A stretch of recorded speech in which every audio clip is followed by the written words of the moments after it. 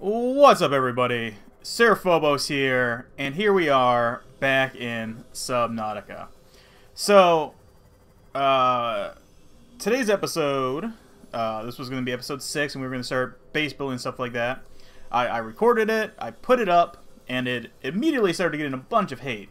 Um, so I rewatched it, and what everything got real chunky and choppy. The capture was terrible. So things were bad. Uh, so that sucked, unfortunately. Um, and in that episode, while we were in the base building, we got uh, another message from from the Sunbeam uh, saying they were on their way. Uh, we got their landing zone uh, where they were going to land on the planet here, and uh, and we got a timer. Uh, a 40 minute timer started the countdown. Uh, so a day in in game is 20 minutes, and they were two days out. So we got a countdown when they were going to arrive. So, uh, I decided to check out the landing zone because I, you know, whoa, sunbeam's on its way, fucking sweet. um, and the landing zone is the second island, uh, the the mountainous island, uh, which is right over here. We're we're heading towards it now. Now, on the mountainous island is the precursor array that we discovered, uh, which is super, super cool. And it's that facility, apparently, that, you know, uh, made the game super choppy. I don't know. I was running through it because I had a timer, so I'm sure that didn't help. You know, I wasn't giving the chunks super amount of time to load and stuff like that. So unfortunately, we discovered all this super cool stuff, and, uh, the the capture was garbage. So I I just loaded up here in creative mode, and I'm going to show off the precursor array and everything. Um, and then in the next episode, which should be fine, I, I watched it. It didn't look bad. Um, it'll have the sunbeam arriving and stuff like that. So here we are. We are at the mountainous island, um, and this is the precursor array. So here's some of it underwater. Here it is on the surface. This just impressive, massive alien structure. It's it's awesome. It's crazy and it's awesome. So when you when you get the uh, sunbeam uh, message, it's like it's right over here is where the LZ is. So you know they're they're gonna land on this island right here on the beach, right next to this big uh, precursor array. So you know, I am, yeah, just in awe of this structure. You know, so we we take a look at it underwater a little bit, check it out. It's super neat. You know, it's got all these compartments with tendrils, you know, punched into the mountain. It is super super cool. So I figured, you know, we'll we'll check this out. I'll go inside because I I did everything inside of it too, which was super neat. Um, now, this is interesting. Now, in the original game, uh, I did not run across this guy. This is a warper. Nope. And he's going to run away. Um, but I, I loaded up here once in a creative mode just to see what would happen when I come over to the base, and pretty much everything's the same, except I don't have the uh, Sunbeam Arrival event active, uh, and I don't think it go I don't think it activates in creative mode. Um, but that guy, that weird little alien fishy, was a warper, and he he decided to take off. So I don't know I don't know where they live. But he was here on the when I checked it out on creative. But oh, there he is. Uh, but when I did this in the game, I didn't actually come over here by this this underwater entrance, which I'll show you inside the base. But he's he's an aggressive fishy. I would I don't know if he attacks the Seamoth or not. Hey, will you attack the Seamoth? Yeah, he will. He's a he's a mean, scary looking fucker. um, and I'm super glad I didn't run to him in game because he scares the crap out of me. Don't Get away from me. Get away from me. you see him. He teleports around. Um, and he was added uh, in the last update, the creature update. And I don't I don't know about him very much other than he warps around and he's got those terrible scythes. And he's very mean to me. yeah. Uh, so I wanted to, you know, I wanted to show that. So um, on the other island, the uh, floating island, there was that uh, purple artifact that I forgot to pick up. And you know, you come over here and you can scan this broken one. And when you come up to the door, this opens up. You know, it's obviously it's the key to the door. Uh, now I had forgotten to pick it up, so I just assumed, you know, and I didn't even realize it at the time. So I just assumed, oh, well, neat. Eventually, you'll find a way into the facility or something. Um, although it does give you the blueprints to craft the uh, the key, but it requires a uh, an ion crystal, which uh, you know, as as you discover these artifacts and stuff, you have no idea what that is. Um, I, I don't know if they're going to be naturally occurring in the game or not. And it requires two diamonds, which also I hadn't found yet in game. Although this island, you can find diamonds. Uh, you can find basalt chunks right on the surface. But so I followed this path up here, and I found one of those purple artifacts. Oh, fucking sweet, right? You know, it brings you to the top of the uh, the array here, and you know you can walk around and check it out. Uh, and there's a path that leads deeper into the mountain, which I've had I haven't explored yet.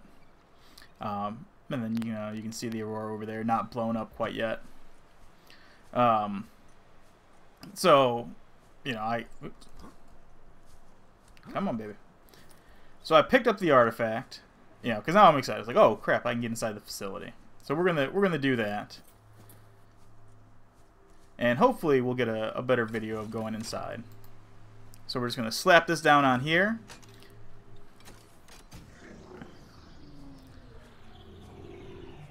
Now this place is super, super cool on the inside. Um, in the original video, I mentioned it, it reminds me a lot of uh, uh, like the Borg stuff from Star Trek. You know, it's got yeah, or uh, Necron stuff from Warhammer. If you're, you know, I'll just keep spouting off more nerdy shit. Um, you know, just this very sterile alien uh, kind of architecture with uh, like neon highlights. um, but it's very cool, and like it's not. It's kind of weird. It's not symmetrical. Like there's weird things, you know, messing up here.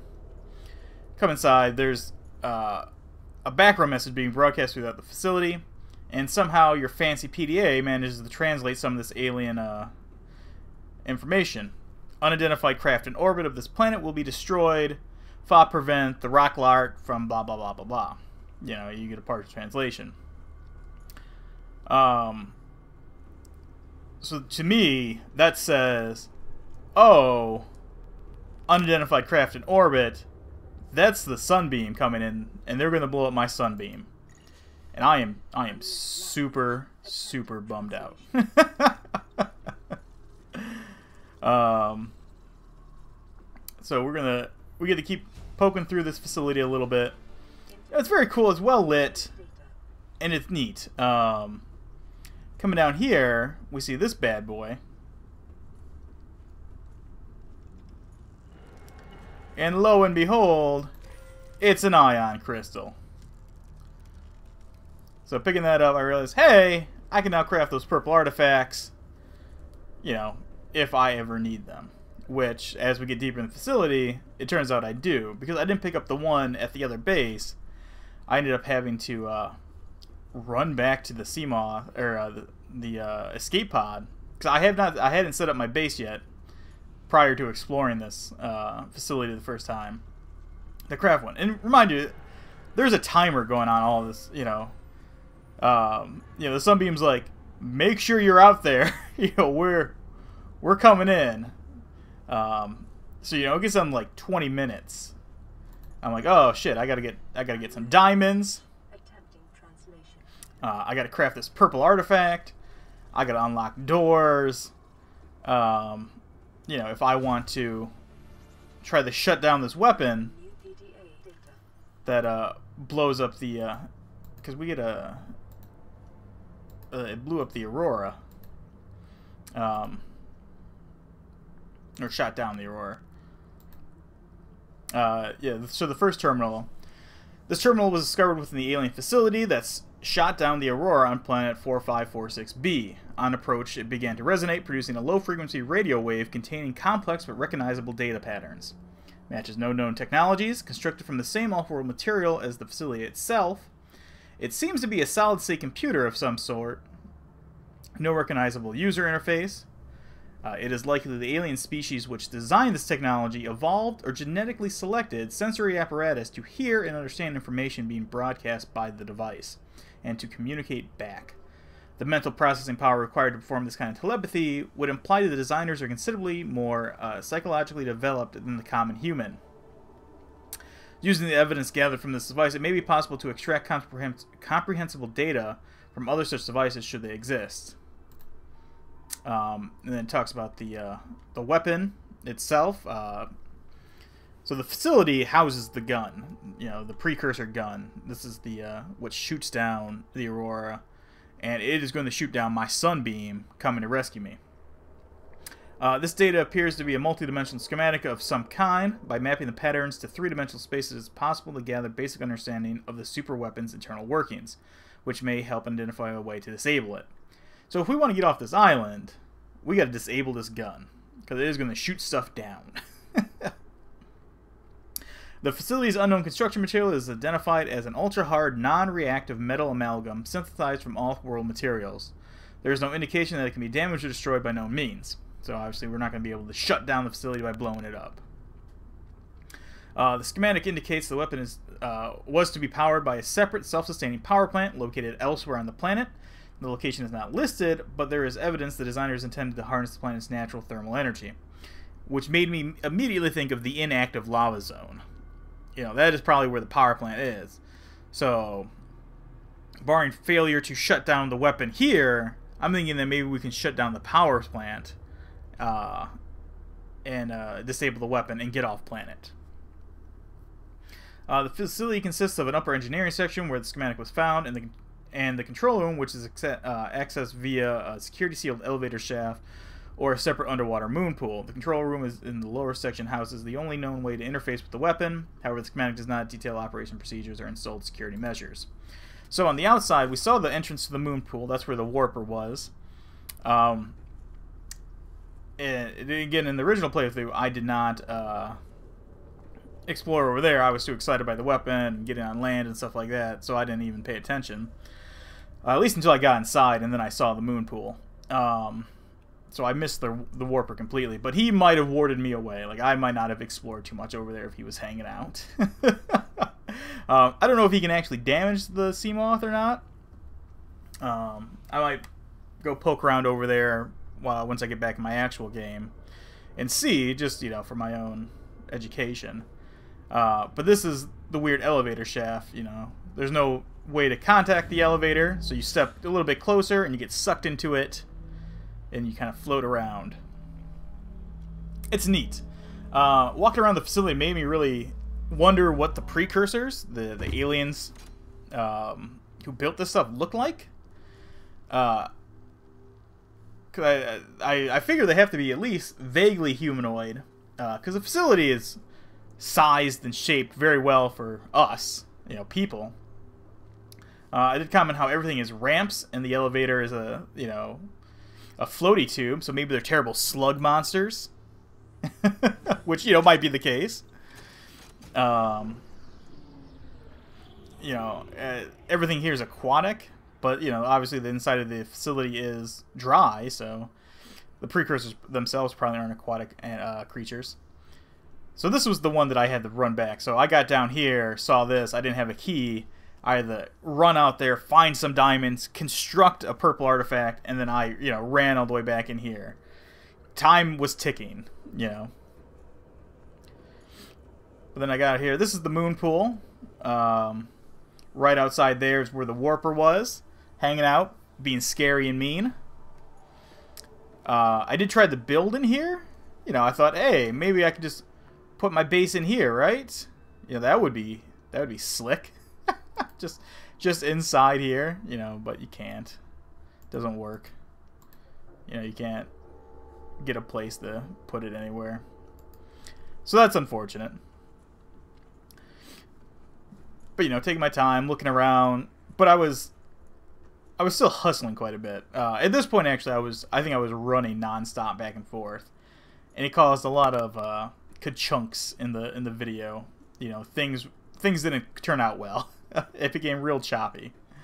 Um, now there there there aren't too many side paths. Uh, actually, there's only one, uh, if I remember correctly. Like the facility is pretty straightforward, uh, and it's right over here. Get another ion crystal. Um, and it's this little room here, and it's got another big archway in it, like the one we found on the uh, floating island, which made me think, hey, maybe this is something used for like transportation, and that's how they got, you know, they they would just travel between the islands you know, from the facility here to the floating island for whatever reason but you know, I I don't see any way to turn it on. But that would be cool. Or maybe it takes them off world. You know, maybe that's how they left the facility. Um, I don't know. So it does have these ramps that lead up. So we're gonna go follow this here. Put away my habitat builder. Um, I thought this was cool. You know, I didn't I didn't notice it the first time because I was hustling, but stuff lights up when you get closer to it, which is very neat. You know, it's it's a neat little touch. I like I like the precursor stuff. It's very cool. Uh, there's another purple artifact over here, which uh, you end up needing. So it does it gives you two. Um, and you need a third. So if you're at the uh, abandoned bases from the Degasi crew, you can pick up the third, and you won't have to craft any. Um, but uh, there might be other alien facilities around that you need the disabled doors and stuff in. So I think that's why they give you the plans. Or I guess if you don't find them. Because it gives you three ion crystals in here. Uh, the data entry for the ion crystal is pretty interesting too it talks about how it's a stable state atomic reaction, um, and that it it postulates that you could uh, uh, use it, uh, convert it somehow to get a escape velocity thrust uh, off the planet. So like we can build something to escape the planet. So that's that's super interesting and cool. So uh, it said beyond this door is the control room for the weapon. So, you know, at this point, I am stoked. I'm like, oh, okay, sweet. We're to get in here. We're to disable the weapon. And something's going to happen. Now, I figured, well, shit, the game obviously doesn't end here. I didn't stumble across, you know, a secret or anything like that where you win. Yeah, so... Uh, I thought originally this was going to be one of those self-fulfilling prophecies. I was going to come in here trying to stop the weapon from destroying the sunbeam and accidentally cause it to destroy the sunbeam. Um, so you come up here, the terminal, hey, disable the weapon. Reach out, give it a little press. But it's like, no! And it catches you, and this terrible little stalk comes out and stamps the shit out of my arm. Very rude.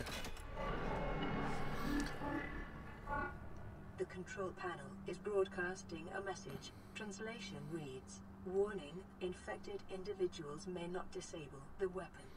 This planet is under quarantine. So boom. The planet is under quarantine. Apparently I'm infected and uh, I can't disable the weapon. Alien data indicate the presence of a second facility elsewhere on the planet.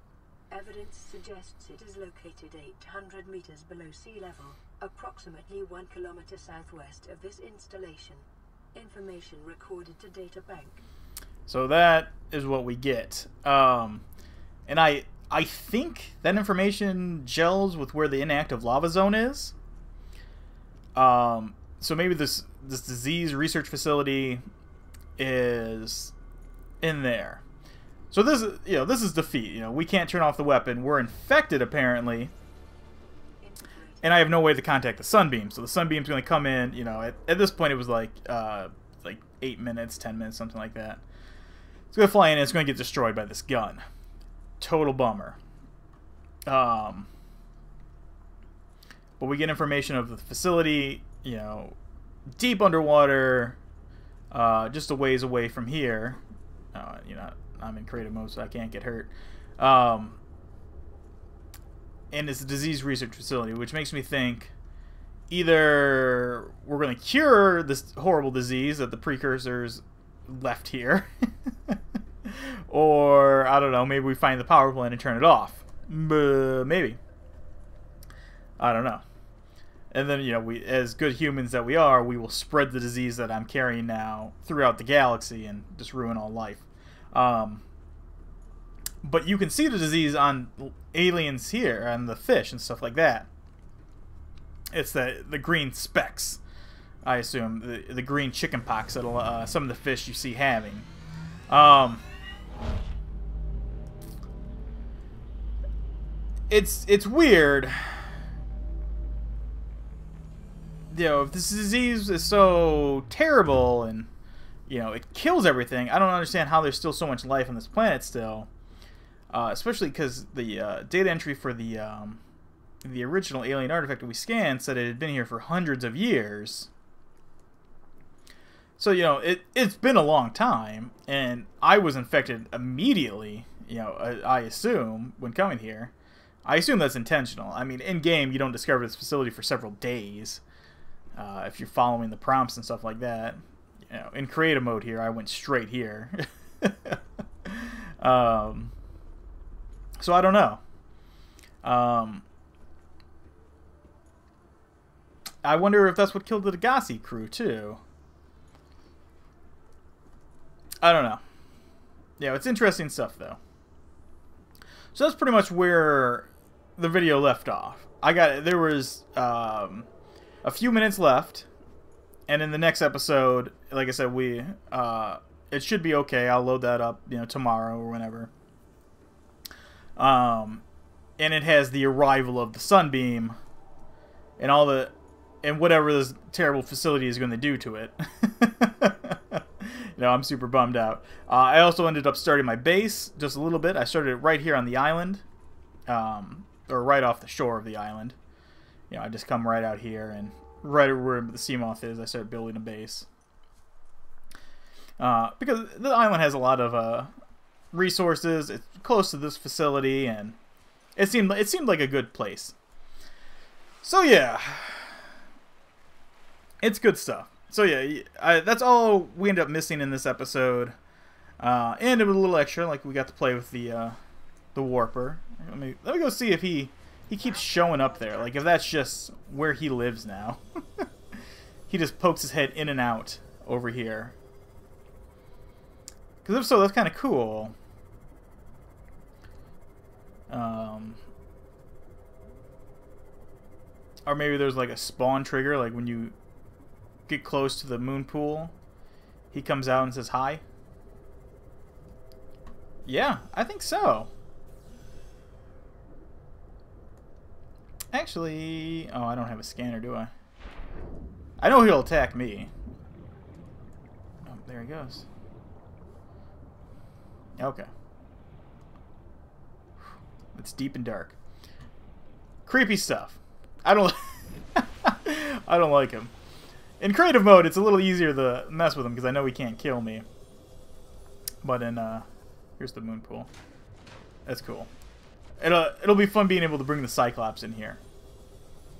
Um and I assume the Warper can't mess with the Cyclops. But I guess I don't I don't really know. I know the Reaper can't, so or at least the Reaper doesn't. I guess I don't know if the Reaper can actually hurt it or not, if it attacks it. I just know that it doesn't. but they're adding new they're adding new features every day. Uh, so yeah. Oh. What's this? Anything down here? No, the answer is no. Just a dark little cave. Ouch. Ouch. Okay. So I'm gonna call this episode here, guys. Um, like I said, we'll we'll pick back up in the real survive and thrive stuff uh, next time. Uh, this episode was just basically exploring this precursor array, um, and like I said, slapping down the the foundation for my base, basically down here.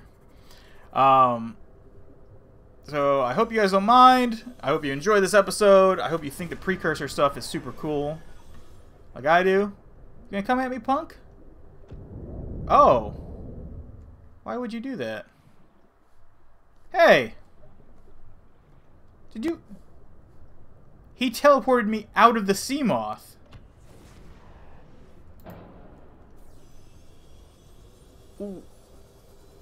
What?